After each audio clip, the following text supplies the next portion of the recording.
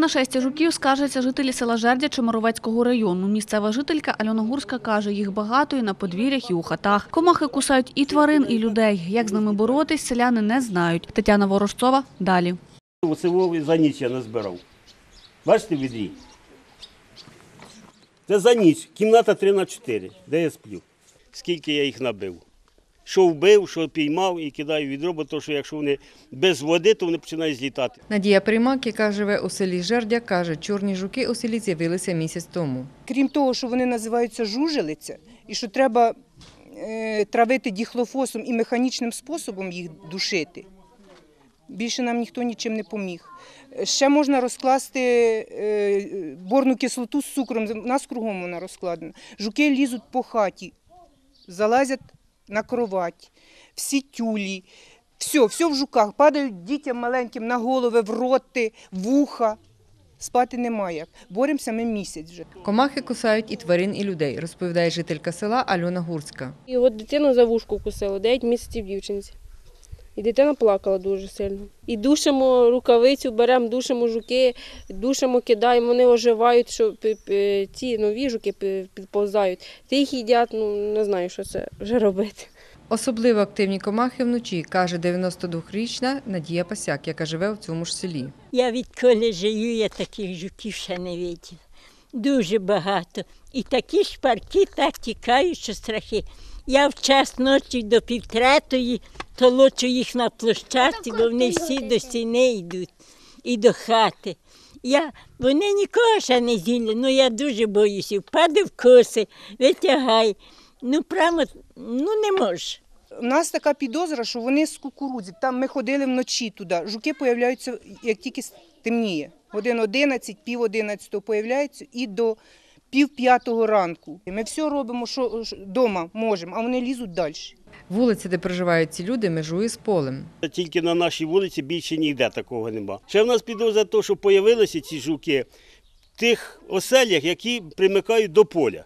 У місцевому агропідприємстві кажуть, шкідники потрапили на подвір'я не з поля. Ми займаємося сільськогосподарськими культурами, зокрема от кукурудзою, де облітав літак і вносить, вносить трихограму. Ми боремося шкідниками біологічним методом, так що тут пов'язано з жуками нічого немає.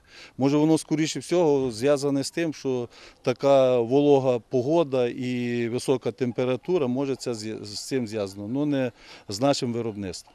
Аби дослідити, що це за комахи, зразки жуків сільський голова передав до обласного управління Держпродспоживслужби. На дослідження нам е, передали жужелицю, е, таку, яка в нас не, така, як заселяє посіви сільськогосподарські культури, як зернова жужелиця, це турун.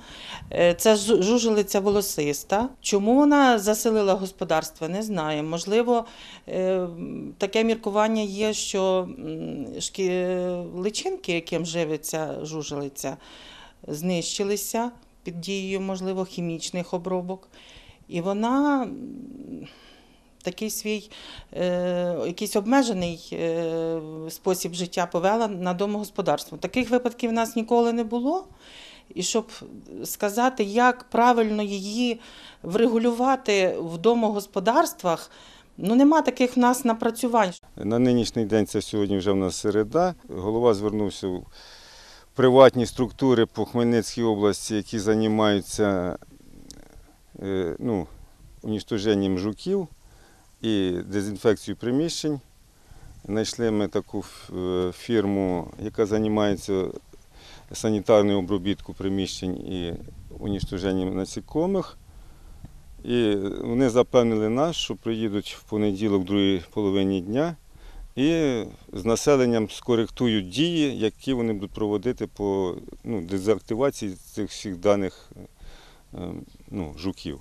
Фінансове питання будемо рішати на уровні е, е, об'єднаної громади. Тетяна Ворожцова, Віктор Кривий. Новини Поділля Центр.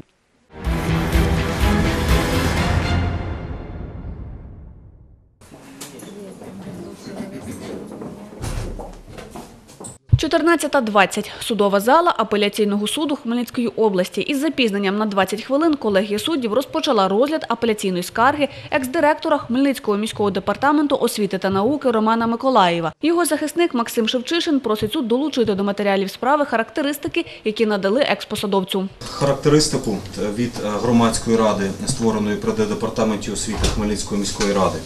Е, Окрім того, хочемо долучити характеристику е, Хмельницької міської ради з приводу Миколаєва, а саме е, того, що він характеризується е, яким чином і інших відомостей. Та просить суд обрати більш м'який запобіжний захід колишньому чиновнику. Запобіжний захід у вигляді особистого зобов'язання, домашнього арешту, особистої поруки або тримання під вартою з визначенням розміром застави в розумних межах. Також захисник Романа Миколаєва надає суду заяви людей, які хочуть взяти підозрюваного у скоєнні ДТП на поруки. Серед них знайомий експосадовця Андрій Попик. Я як людина, яка знав Романа Миколая, як знав його з е, хорошої сторони, я теж написав, як і багато інших е, відомих в місті осіб, волонтерів, керівників волонтерських організацій, які знали його з позитивної точки зору, написали заяви про готовність взяти його на поруки. Прокурор обласної прокуратури Віктор Арсенюк не погоджується із захисником Романа Миколаєва. Не погоджуємося в зв'язку із тим, що ризики, передбачені статтею 177 Кримінального процесуального кодексу України, вони продовжують мати місце. Підозрюваний може ухилятися від слідства та суду, перешкоджати кримінальному провадженню іншим чином, а також впливати на потерпілих, е, свідків, експертів в даному кримінальному провадженні. Сам Роман Миколаєв свою провину визнає. Те, що саме він був за кермом автівки, підтвердив. Та каже, у разі зміни запобіжного заходу на свідків впливати не буде, як і не буде переховуватись від слідства. Навіть коли я виконував свої службові обов'язки і міг чинити якийсь тиск адміністративний, не моїх правилах було це робити. Це просто виключено апріорі, оскільки я не так вихований і не так дивлюсь на життя. Я не розумію, яким чином я перешкоджаю чи не допомагаю слідству. Можливо, мені теж треба написати листи е, в ті органи, які здійснюють експертизи, щоб пришвидшити. Я готовий їх написати. Яким іншим чином я можу допомогти слідству? Заслухавши усі сторони судового засідання, колегія суддів йде до нарадчої кімнати.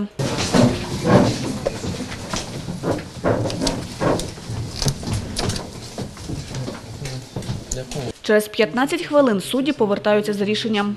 Колегія судді постановила ухвалу слідчого судді Хмельницького міськрайонного суду 20 липня 2018 року про задоволене клопотання слідчого ОСС СУ Г ОНП Хмельницької області Васюка про продовження строку тримання під вартою відносно Миколаєва Романа Дмитровича залишити без зміни апеляційну скаргу адвоката Шевчишина без задоволення.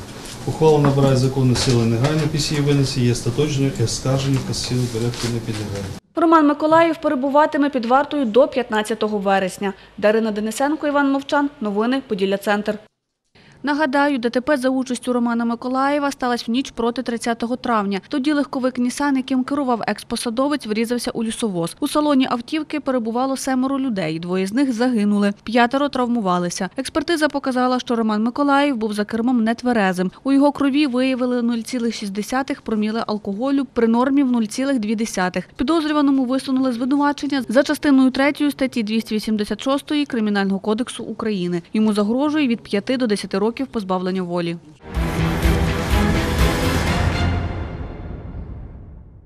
Соціальний експеримент провели в обласному центрі. Патрульні разом із представниками громадської організації Асоціація автовласників Хмельниччини перевіряли, як містяни реагують на нетверезих водіїв. Тетяна Пресикар далі. Моя точка зору, випив навіть пляшку пива, ти вже не тверезий водій. Це Сергій Рудковський, представник громадської організації Асоціація автовласників Хмельниччини. Нині він у ролі актора. За легендою, чоловік на підпитку із пляшкою у руці намагається сісти за кермо. Чекай, лізе.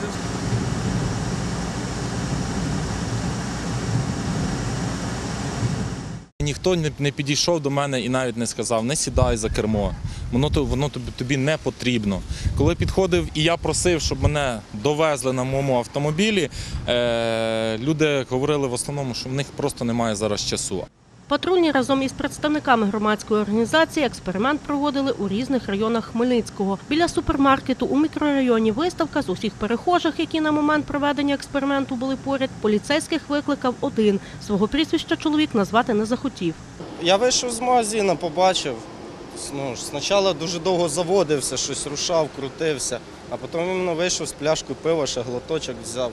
Ти зразу позвонив. Прес-секретар патрульної поліції в області Роман Мартинюк каже, за допомогою хмельничан, які повідомляють про такі випадки поліцейських, цьогоріч зупинили близько 260 нетверезих кермувальників. З початку року на території міста Хмельницького було зафіксовано понад 650 випадків керування автомобілем в стані алкогольного сп'яніння. Це досить велика кількість водіїв, які наражають на небезпеку не тільки себе, а й інших учасників дорожнього руху.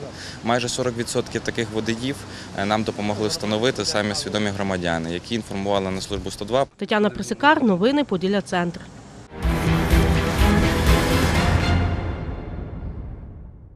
Десять хмельницьких байкерів долучилися до всеукраїнського мотозаїзду за єдність. У мотоколонії вони проїхались містом до Майдану Незалежності.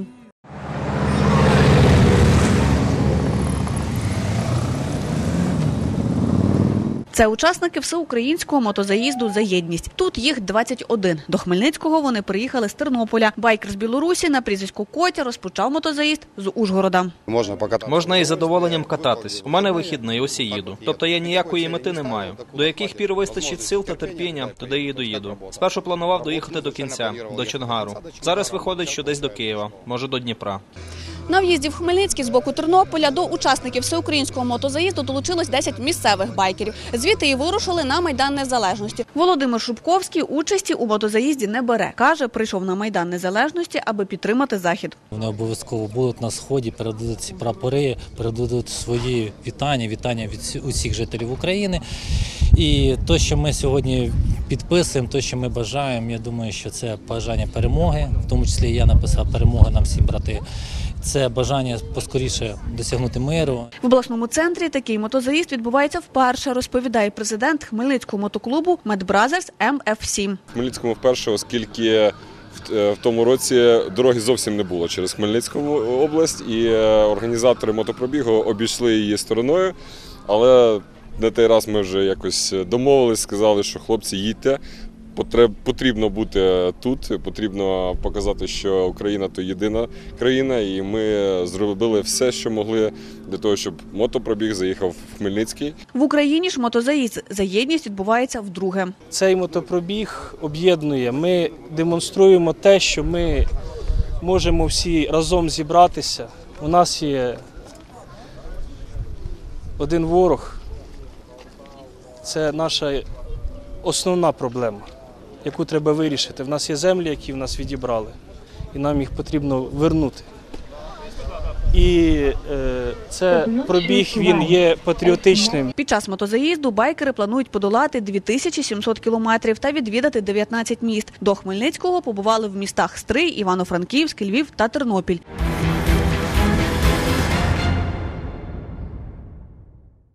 Психолог Антоніна Віговська розпочинає безкоштовну консультацію у сквері імені Шевченка о 12-й годині. Цього разу радитиме батькам, якими словами замінити фразу Як тобі не соромно. Якщо дитина е, часто чує фразу Як тобі не соромно, коли вона почувається присоромленою, коли вона почувається винною, у неї формується відповідно занижений, е, занижена самооцінка. Легше всього нав'язати комусь відчуття провини, а набагато складніше спробувати підтримати, розрадити і показати нові способи взаємодії з дитиною. Хмельничанка Віра Біла, мама двох доньок, старший 10 років, молодший 7. В поривах інколи емоцій воно не завжди вдається так. І ця фраза проскакує, звісно, проскакує нерідко.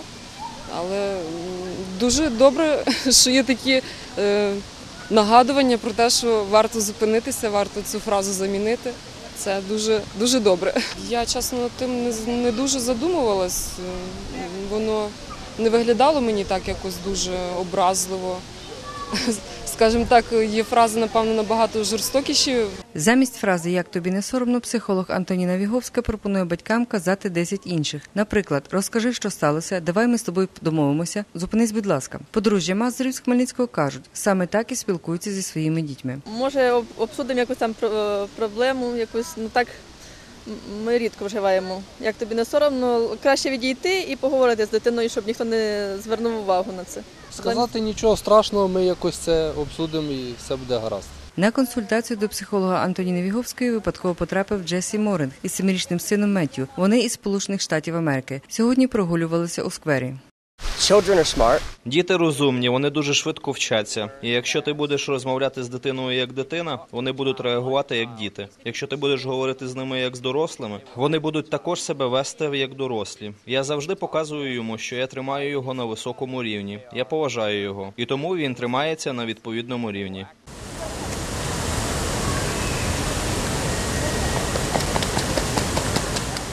Наступний прийом просто неба психолог Антоніна Віговська влаштує у вівторок. Нагадаю, такі консультації з ініціативи міського центру соціальних служб для сім'ї, дітей та молоді у Хмельницькому відбуватимуться до кінця літа. Тетяна Ворожцова, Віктор Кривий. Новини Поділля Центр.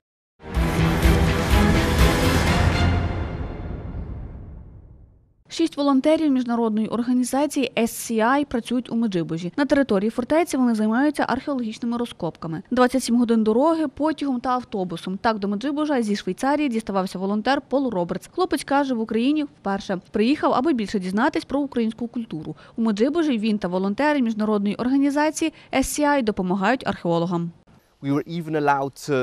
Ми багато чого зробили. Нам навіть дозволили проводити археологічні розкопки. Я був дуже здивований. Моя головна мотивація була поїхати туди, де я ще не був, та познайомитись з людьми, з якими я б продовжив спілкуватися. До того ж, я ніколи не був так далеко від дому. Тож подорож до України це пригода для мене. Еліан Прайсвік також приїхала на Хмельниччину зі Швейцарії. До цього побувала в Ужгороді та Києві. Я планувала долучитися до цього табору в будь-якому випадку. Я була в Україні до цього. Я думаю, це прекрасно. Тому що якби я відпочивала на пляжі, мені було б нудно.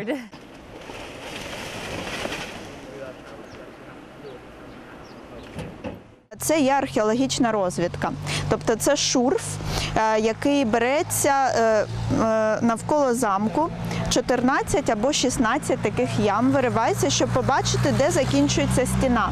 Тобто археологам цікаво дізнатися, як взагалі будувалися ці стіни, коли, де вони закінчуються. Саме такими розкопками і займаються ці волонтери. У Меджибожі вони працюватимуть до кінця цього тижня. В нас є представники з Фінляндії, Італії, Швейцарії, ем, та ще Іспанії, ну і Україна.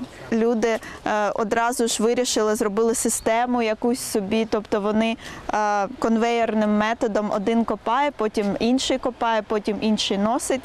І коли ти так е, е, разом і відпочиваєш, і працюєш, все дуже швидко. Дарина Денисенко, Володимир Паламар. Новини Поділля Центр.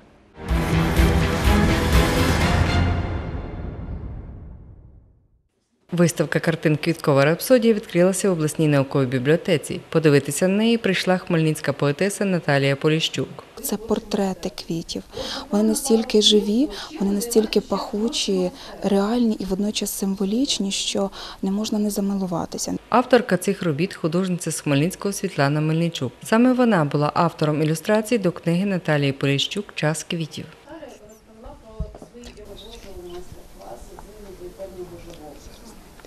В дану виставку війшли більше квіткова, звичайно, тема, так як е, в нас е, книга пов'язана з квітами, е, літо, весна, і якби надихалися такими, так, такою програмою. Виставка вийшла дуже ніжна, дуже легка. Квіткова рапсодія Світлани Мельничук це четверта її персональна виставка. І друга виставка представлена у акварелях. В експозиції Світлана Мельничук представила 20 полотен. Писати художниця вчиться у Хмельницькій студії живопису Едварда Міллера. Виставку акварелей вона написала успішно. Це було так новаторськи навіть. Це вже друга її виставка разом з поетесою, з якою вона створила книгу. Вона зробила таку серію е, композицій про квіти, квіткову таку серію. Вона достатньо така свіжа, делікатна, е, гармонійна і, і акварельна, дійсно в прямому смислі цього слова. Квіткову рапсодію Світлани Мельничук в обласній науковій бібліотеці можна переглянути до 1 вересня. Тетяна Ворожцова, Віктор Кривий. Новини Поділля Центр.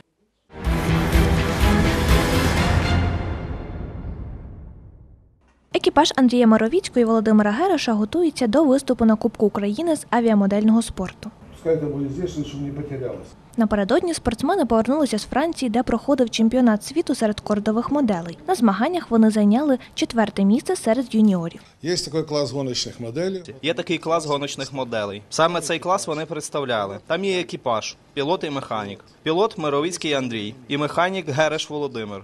У центрі кола стоїть пілот. У руках в нього є ручка, від якої відходять два троса. Через систему кінематики. Систему качалок і тяг він управляє так само, як літаком. Пілот бере ручку на себе, руль висоти піднімається вверх, і літак летить вверх. Так само пілот ручку бере від себе, і модель летить униз.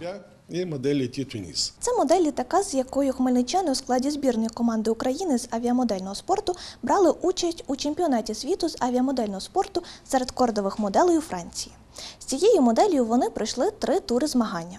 Пілот екіпажу Андрій Маровіцький разом з механіком Володимиром Герешем займаються у гуртку з авіамодельного спорту Хмельницького палацу творчості дітей та юнацтва. У парі працюють два роки. На чемпіонаті світу вони змагалися серед юніорів, де було представлено 50 екіпажів з різних країн світу. Змагання були дійсно складні, адже це набагато вищий рівень, ніж в нас в Україні. Досить таке складно літати з екіпажами, які вже займаються багато років і виступали не один раз на міжнародному рівні. Але це мені принесло особисто для мене дуже великий досвід в моєму плані і в плані мого розвитку в цьому спорті. Модель складається з таких частин. Ці частини всі робляться на в даній моделі робляться е, з вугля, е, з карбону. Е, Вони заложуються в форми, пресуються і згодом склеюються. Модель дуже класна, тому часу ми витратили небагато, але е, ну, налаштування мінімальні, е, підлаштувати ручку під е, саму модель.